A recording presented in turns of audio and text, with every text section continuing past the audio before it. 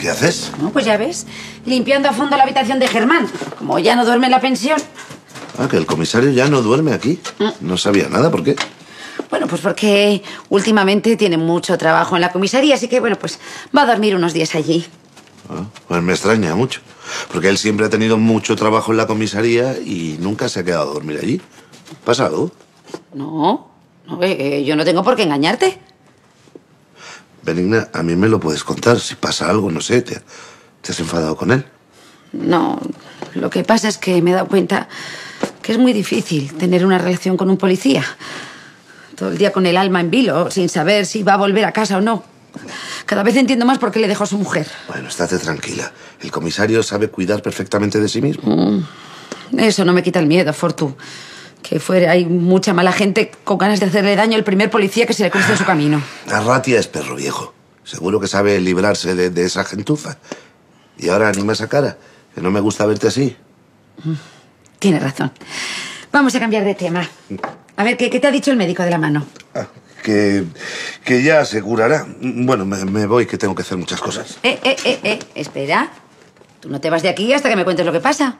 Pero si es que no, no pasa nada, Benigna. Está todo bien. No- Por tú que nos conocemos. Ha sido nombrarte al médico y ponerte nervioso, como ayer.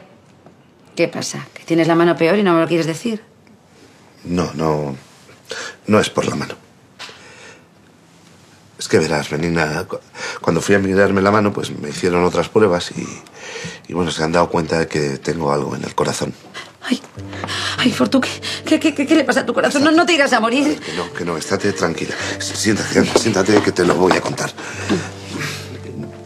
Había pensado en principio no, no decirte nada, pero luego creo que, que es mejor que te lo cuente, porque tú y yo nunca hemos tenido secretos. Ay, Fortunato, por el amor de Dios, cuéntame lo que me tienes en ascuas. Pues verás, han descubierto que tengo un- una pequeña arritmia. No es grave, se puede vivir con ella, no, no me voy a morir, pero, pero tengo que dejar de hacer esfuerzos, eso es todo. Esfuerzos. ¿Y qué, qué clase de esfuerzos? La lucha libre, por ejemplo. Ay, Fortu, cuánto lo siento.